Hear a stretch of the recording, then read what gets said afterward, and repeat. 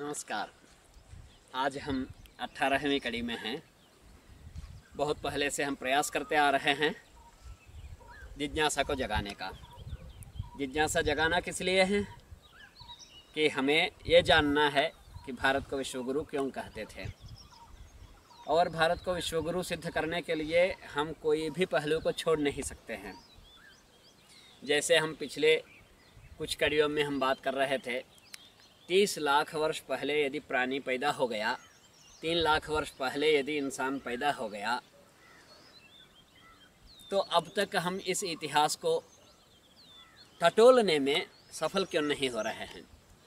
यदि आपको कोई शिलाज मिलता है, अर्थात कोई पुरानी वस्तु मिलती हैं या हड्डी मिलता है या कोई अवशेष मिलता है तो हम कार्बन डेटिंग से पता कर लेते हैं कि पचास हज़ार वर्ष पुराना है। या एक लाख वर्ष पुराना है, आज विज्ञान इतना भी आसार दे दिया। उसके बावजूद, क्या हमें कोई पुरानी वस्तु नहीं मिल रही है? तो बात ऐसे भी नहीं है। हम बहुत जगह के तथ्यों को एक जगह में पिरो नहीं रहे हैं। अर्थात एक सूत्र में हमें पिरोना है और उन सबको एक दृष्टि से देखना है और उन सब के बीच में हमें एक ही बिंदु रखना है। तो आज की बात है कि तीस लाख वर्ष पहले जब प्राणी पैदा हुआ तो तीन लाख वर्षे पहले ही मानव क्यों? क्या? जैसे डार्विन महोदय का जो क्रमिक विकास का सिद्धांत है एवोल्यूशन थ्योरी जो 19वीं सदी के पैदा हुए एक शास्त्रज्ञ,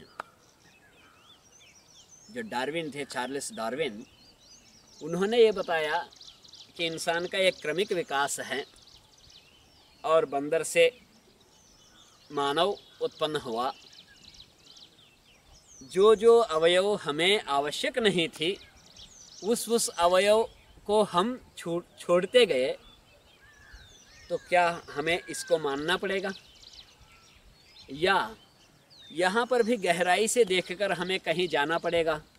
मानव का उत्पत्ति अचानक हुआ, अथवा हम कर्म के सिद्धांत के जिसकी बात कर रहे थे, पिछले एक कड़ी में, कुछ कड़ियों में तो वहाँ पर हमें हर योनि में जन्म लेना पड़ता है। हमारे कर्मों के अनुसार हर योनि में जन्म लेना पड़ता है। तो पहले मानव योनि क्यों नहीं बना? सबसे पहले तीस लाख वर्ष पहले वो प्राणियाँ क्यों बनी? और वो प्राणी, उसमें से अधिकांश प्राणी अब क्यों नहीं?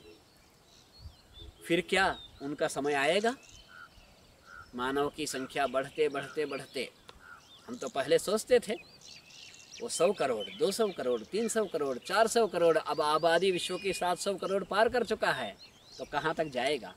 हम तो, तो होगा एक समय तो आएगा फिर ये संख्या शून्य की ओर जाएगी फिर वही प्राणी बचेंगे फिर नए नए प्राणी उत्पन्न होंगे। जैसे हम साइंटिफिक फिक्शन के जो सिनेमा में देखते हैं विभिन्न तरह के जानवर जो बाहर दिख नहीं सकते हैं तो उनको वहाँ पर दिखाते हैं तो क्या वैसे ही समय आएगा?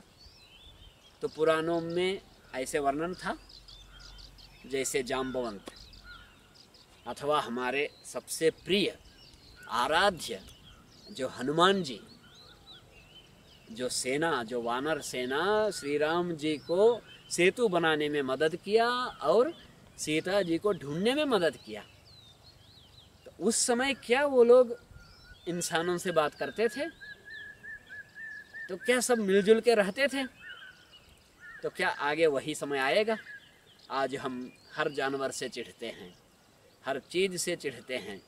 गाय को सड़क पे छोड़ देंगे और बंदर बढ़ गए हैं, इसलिए मारने की अनुमति कोर्ट से ले लेते हैं।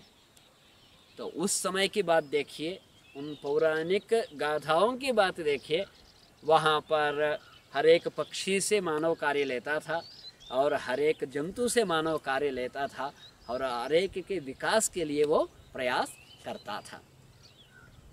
तो आखिर हम पीछे मुड़ के देखें तो कैसे देखें? इंसान के दृष्टिकोण को कैसे देखें? उसके उद्भव को कैसे देखें? और प्राणियों के आवाजमन आवागमन जो हैं, यानी यहाँ पर पैदा हो रहे हैं और जा रहे हैं, उनके बारे में हम क्या समझें? बहुत गहराइयों तक हम जाने की स्थिति में नहीं हैं। आज हमारी पढ़ाई सीमित हो गई है। हम यदि डार्विन के, डार्विन महोदय के क्रमिक विकास के बारे में पढ़ते हैं तो हम वहीं तक रह जाते हैं। हाँ हम कहते हैं कि हाँ मानव बंदर से पैदा हुआ था। तो आखिर ये संभव है? क्या यदि हम अवचेतन मन को बता दें कि हमें इस अंग की आवश्यकता नहीं है? अथवा हम क्या कुछ दिन हमारे हाथ या पैर के आवश्यकता को महसूस ना करें तो क्या धीरे धीरे ये समाप्त हो जाएगा? डार्विन महोदय के किसी भी सिद्धांत को हम नकार नहीं रहे हैं, ना नकार सकते हैं, जब तक हम यह इस बात को सिद्ध नहीं कर सकते हैं। या तो हमें यह सिद्ध करना पड़ेगा कि डार्विन महोदय का जो कथन है वही सही है, उसका ज़िक्र हमारे यहाँ भी है। और यहाँ पर भी वही विकास क्रम बताया गया। अथवा अपने कर्मों के अनुसार एक योनि से दूसरे योनि में, तीसरे योनि में चलते चलते प्राणी अंत में तीस लाख वर्ष से माने सत्ताईस लाख वर्ष उनको समय लगा था, तब जाके मानव नामक एक प्राणी पैदा हुआ। ये मानना पड़ेगा। तो यहाँ हमें एक डिज़ाइन बनानी पड़ेगी। यहाँ पर शोध का एक प्रारूप बनाना पड़ेगा हमें, क्योंकि जब तक हम मानव के इतिहास क्या के बारे में नहीं जान सकते हैं, मानव के प्रादुर्भाव के बारे में हम एक निश्चित बिंदु पर नहीं पहुँच सकते हैं, तब तक हम विश्व के बारे में क्या पढ़ेंगे? क्या जानेंगे? आखिर इंसान का उद्भव कैसे हुआ? आज हमारा दौड़ चल रहा है। मुझे गाड़ी खरीदना है मुझे घर बनाना है और मुझे बैंक अकाउंट बनाना है, मुझे नाम कमाना है, उस समय में हम इस चीज़ को भूल जा रहे हैं। आसमान को देखना भूल गए, ताराओं को देखना भूल गए, बगल वाले को देखना भूल गए, समाज के प्रति हमारे योगदान को भूल भूल गए, और ठोस शोध, जिन गहराइयों को पहुँचने के लिए पाश्चात्य जगत तरस रहा है हर एक शोध में अंदर तक जाने का जहाँ प्रयास करता है, वहाँ हम कहाँ रह गए? इस ग्रंथ से उस ग्रंथ की समीक्षा, उस कवि की विशेषता और इस रचयिता की विशेषता और ज्योतिष में भी अमुक भाव का विचार, अमुक भाव का विचार तो आखिर हम कहाँ रुक गए? जिज्ञासा हमें पैदा होना समाप्त कैसे हो गया? और हम स्थानु, मानी एक पत्थर के रूप कैसे ले लिए? और प्राणियों को जो नहीं दिया भगवान ने, जो विशेषता मस्तिष्क में जो हम में दिया है सेरेब्रल कॉर्टेक्स जो स्थान होता है, वो प्राणियों में होता ही नहीं है। और चिंतन का स्थान वही होता है इंसान में। नहीं तो हाथी के जो इतना बड़ा सर है, उसके मस्तिष्क में छोटा सा अंश है कि सेरेब्रल कॉर्टेक्स इसलिए ज़्यादा सोच नहीं सकता। और इंसान के दिमाग में अधिकांश भाग सेरेब्रल कॉर्टेक्स है। तो उसको दुरुपयोग क्यों कर रहा है इंसान?